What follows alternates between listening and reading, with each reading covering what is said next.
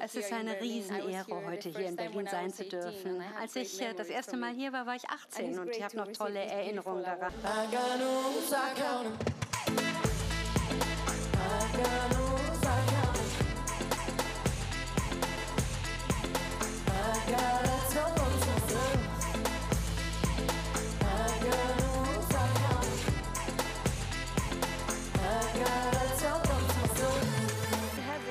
Das ist ja sehr schwer und wunderschön.